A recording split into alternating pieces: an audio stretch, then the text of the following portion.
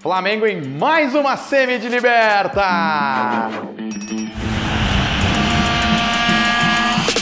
O Galo pode adicionar mais um nome de peso ao seu já estrelado elenco.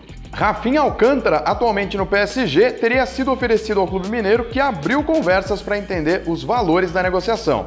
O jogador de 29 anos chegaria por empréstimo sem custos a Belo Horizonte, mas o salário é alto para os padrões brasileiros. Será que vai? Em campo, o Atlético Goianiense não tomou conhecimento do Nacional do Uruguai, mesmo com Soares em campo, e conquistou a vaga inédita para a semifinal da Sula. Com gols de Luiz Fernando duas vezes e Baralhas, o Dragão aplicou um 3 a 0 para garantir um brasileiro na final da Sula. Isso porque na semi ele vai pegar quem passar de São Paulo e Ceará. E o Flamengo é o primeiro semifinalista da Libertadores. O time já carregava uma boa vantagem do primeiro jogo contra o Corinthians, mas não correu riscos e venceu de novo por 1 a 0, gol de Pedro. Agora o Flamengo pega quem passar de Vélez Sarsfield ou Tajeres, ambos da Argentina.